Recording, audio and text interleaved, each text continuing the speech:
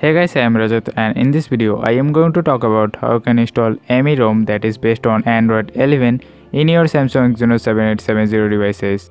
So the first thing that you need to do is turn off your device and boot it to your custom recovery mode by pressing the volume up key, home button and the power key at the same time.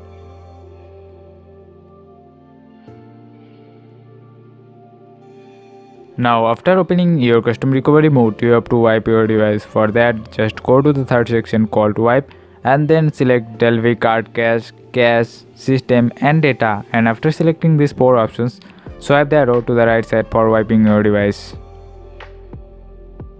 As you can see that my device has been successfully wiped so let me just show you the zip files and the image file that you need for installing this ROM. For the installation you just need two zip files. First one is the create windows zip file and second one is the Treble version 2 zip file. And one image file that you need is the AmyROM's image file. The link of the zip files and the image file has given in the description box. To install the GSI first of all flash the create windows zip file.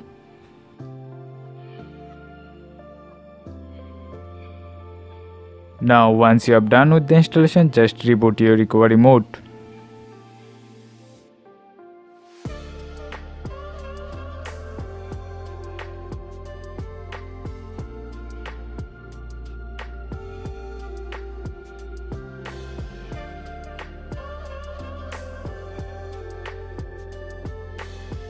Now just flash the AmyROM's image file as system image.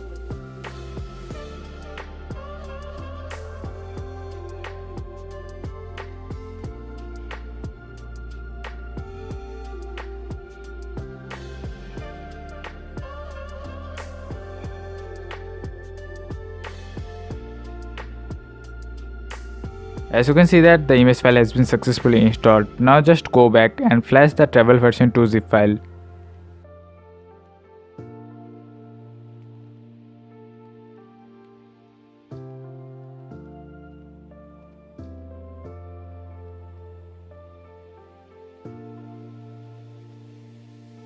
Now as you can see that the Treble version 2 zip file has been successfully installed. Just ignore the fail to mount text and I think this will not show in your installation time.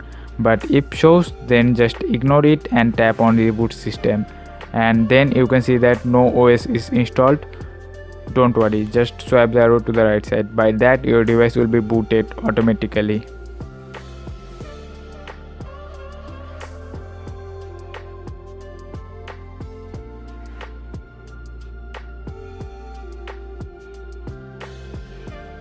So here is our ME AmyROM which is based on Android 11 and in terms of the OS you will get all the applications as pre-installed.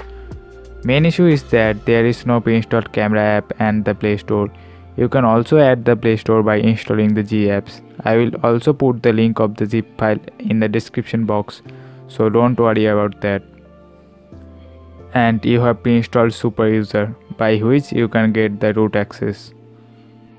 In terms of the software information, it is AmyROM version 1.2 which is based on Android 11 and the kernel that we have used in the installation time is the H kernel and it is giving 5th January 2021 security patch level.